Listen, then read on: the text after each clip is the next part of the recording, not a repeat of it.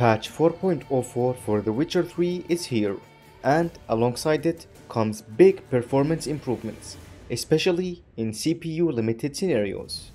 I was quite shocked about just how much performance has improved in Novigrad.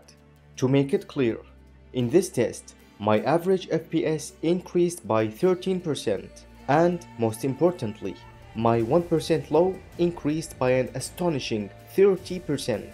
That's right, for a small update like this, this is surely incredible. Here's something I noted during this test. In patch 4.03, during the whole test, it stuttered one time. In patch 4.04, it never stuttered. This update is literally a performance game changer. Now, DirectX 12 is much more viable to use. If you've been waiting to play The Witcher 3 because of its performance, now is a great time to jump back in.